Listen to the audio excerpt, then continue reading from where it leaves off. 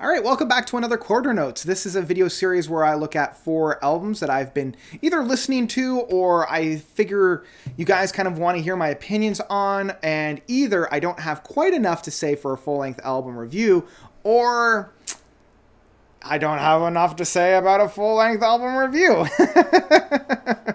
uh, so, yeah, we've got four artists, uh, four bands, four albums on here. Uh, so, without further ado, let's just dive in.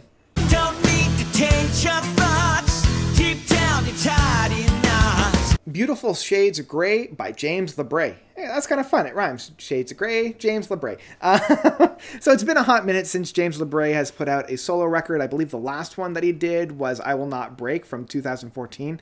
Uh, he did a, like a, a EP, a single last year of Kickstart My Heart from Falset, and it was fine. Honestly, I don't remember it at all. Uh, so we're kind of a, a, long ways away from my favorite work of his, which was The Elements of Persuasion, way back in 2005. And, you know, when I was kind of getting into James LaBrie, especially with Static Impulse in 2010, you know, I, I knew that he had this more dynamic approach to metal uh, by infusing a lot more of like the 70s rock, you know, taking a look at again, Deep Purple or Led Zeppelin, and infusing that kind of style within a metal work so that it wasn't like really, really heavy metal that we would have from like Dream Theater. And it was a little bit more tailor made to suit James's vocal works. We see that even more with Beautiful Shades of Grey in that it's less of a metal album. In fact, I wouldn't even, I would be very, very hard pressed to call it a metal album at all. And it's much more of a straightforward rock album. And at no point on this album was I overly excited about any of the tracks. Like I did enjoy the Devil in Drag, you know, the one of the leading singles off of it. It's fun, it's quirky. I also kind of like Wallflower, you know, that one's kind of fun. Cosmic Calling is interesting. Uh, but I, I feel like a lot of the tracks where they could have used or maybe should have used a uh, electric guitar, they always kind of go into the acoustic guitar. And I, I enjoy that kind of approach, but it doesn't really satisfy any one thing. And it is interesting that the album is called Beautiful Shades of Grey because it really is like this gray, almost no man land in that case. I do like the uh, bonus track of Ramble On, uh, the Led Zeppelin cover. I thought that was really well done. But yeah, I, I felt like this album just kind of left me wanting more. Um, it was a nice little drop in the bucket in terms of all the music that's coming out lately, but it wasn't anything overly that special to capture my attention. So yeah, this was one that I would probably still stream. Like, if you're a fan of James LaBrie, this is probably the best stuff that I've heard from him in terms of his vocal performance, in terms of his vocal range, knowing where his range is and staying within it. Um, I think this is probably the best work that he's done in playing in that range, mainly because he can craft songs that cater to that. Uh, and I think they did that very, very well in this. But there's nothing really on this album to keep me coming back to it. So it's a stream. It's one that I you know, listen to it once or twice, and I'm like, okay, nothing a whole lot for me here, but there might be something for you, so give it a try.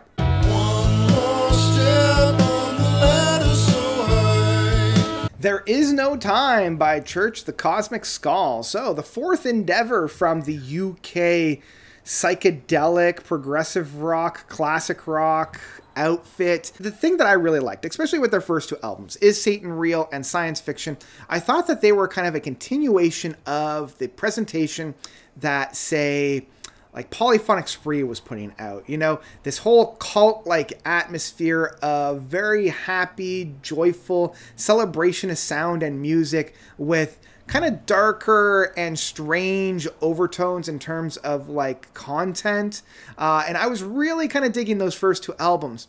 Uh, then in 2019, Everybody's Going to Die came out, and I just felt like the band was treading water and not really doing anything new. Like the the steps from is Satan real to science fiction wasn't a big one, but I figured, okay, sophomore slump, maybe the next one will come out. Then everybody's to die comes out, and I'm like, okay, we're getting more of the same. Let's do something different. Uh, there is no time comes out, and yep, it's all the same. Um, so if you ever wanted a band to basically just repeat what they were doing over and over and over again without any real variations check these guys out. Uh, if you've heard the first well, if you've heard any of their albums, you've already heard this one. There's really no variations in terms of themes, there's no variations in terms of content or style. You know, they're not even really experimenting with anything. It's just more of the same. So if you want that, you're going to love this album. If you want a little bit more, you're going to be sorely disappointed with this one. So again, this is another one that I would stream. You know, it's not bad by any stretch. You know, there's nothing on here that's like remotely terrible or like I would, you know, it's one of those I would be hard pressed to say that there's anything really inherently wrong with this album in terms of the music, lyrics, songwriting ship, all that. It's all fine. It's just it's pretty much the exact same stuff we've already heard before. So yeah, give it a stream. See if it's up your alley. Um, if you like that kind of psychedelic stoner hippie rock, you're really gonna dig this. This was just a fun one. That's all I've got for this one.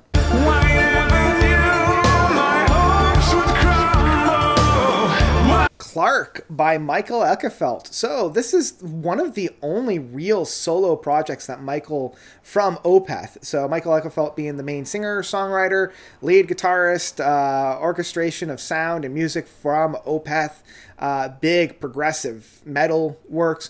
Uh, he's come on and done a soundtrack for the, I believe it's a Netflix series of Clark. It has that Mikael Åkerfeldt feeling, that Mikael Åkerfeldt motifs. If you're looking for more of the somber moments that you would hear on, say, like his collaboration with Steven Wilson of Storm Corrosion, is probably the closest that you have within this. It's very somber, very melodic, very like ethereal. It's very like it's a soundtrack, right? So you don't have those like really massive noodling aways, like blow down the door riffs that you would have with Opeth. So it's a lot more somber, you know, it's a lot more chill and quiet in that sense. And I'm loving that. Like I'm hearing motifs and sounds from even like Steven Wilson's Grace from Drowning is definitely found on this. Like the trilogy of albums, the loose trilogy of Heritage, Grace for Drowning, and Storm Corrosion definitely felt within this project. I've been listening to this quite a bit, uh, like late at night uh, when I just need to chill out, uh, or if I'm just trying to go to sleep, you know, having a rough time, finally closing the eyes and closing the doors to being awake and finding myself slipping off to sleep. Uh, I'm loving this. Uh, it's like I mentioned, it's very, very atmospheric, very, very soundscapey, but it always feels very Mikael Åkerfeldt. It feels very Opeth infused. It's like if you took Opeth and quieted them down uh, and slowed them down as well. So, like, I'm also getting feelings of like damnation in that sense as well. This is one that I highly recommend, honestly. Uh, I think if you're a fan of Opeth, if you're a fan of Michael's music, you're really, really going to dig this one. Uh, it, it also reminds me of like how Steven Wilson kind of reworked a lot of his songs for The Last Day in June, the music soundtrack that he did for that game that was kind of loosely based off of the music video of Drive Home. It's kind of got that same feel. So, like I said, highly recommend this one. Go and check this one out. This is one that I would pick up in physical format without delay. So, yeah, I dug it.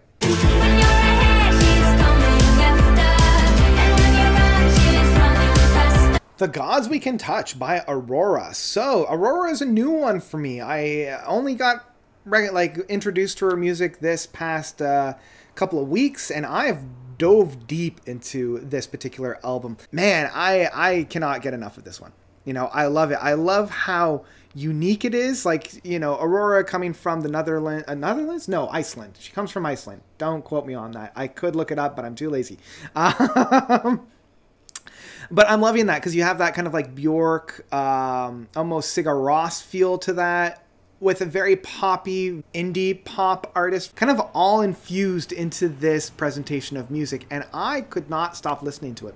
I'm loving both the very somber ethereal soundscapes that we have on here but also a lot of the very tangible meaty hard hitting moments on this record as well. And i love the blending of the two. Um, if you are a fan of something a little bit different in your pop, if you're a fan of like really juicy harmonies within the higher ranges of sounds, definitely give this one a listen. I've been really, really enjoying this one. It's very unique. I've been listening to a lot of Enigma these past couple of months, uh, and this one kind of blends very, very well in that. In again, infusing this more electronical, like Icelandic dance to a little bit more stripped back kind of singer songwriter Americana flavoring at times. And I know that's kind of like, you know, oxymoronic at times, but hey, that's what you got on here. I really found myself enjoying this one. I kept coming back to it. Like there was like two or three days where this was the only thing I was listening to, uh, because I just loved how different it was, how unique it sounded to me. Um, yeah, this was another one that I would absolutely pick up in physical format. Uh, I think this is a great entry point for Aurora if you haven't heard her already. Uh, I think it might be one that you guys might like. You know, it's definitely different. Uh, it's not my usual MO, but I've been dipping and diving into these more unique corners of the musical spheres. Uh, and I know she's garnered quite a big fan base, you know, like I'm looking for The Cure for Me, one of my favorite tracks off of the album, and it's got like 29 million view or listens uh, on the streaming service I've been listening to. Notes of approval, Run Don't Walk to give it a listen. It was a good time. Very, very good time. So that's what I've got. Those are the four albums for you today. Hope you guys enjoyed this one. Which were, or I guess, which one was your favorite? Which one was your least favorite? Which ones have you checked out? And if you have, what did you think? If you haven't checked them out, do so at your own leisure. And that's all I got for you. I hope you guys enjoyed this one. As I mentioned, you know, let me know what you thought by commenting down below. Uh, if you haven't subscribed already, please do. Um, and uh, that's all I've got for you today. That's all I've got. So thank you all so much for watching. As always, you guys are definitely the best. And until next time, notes out.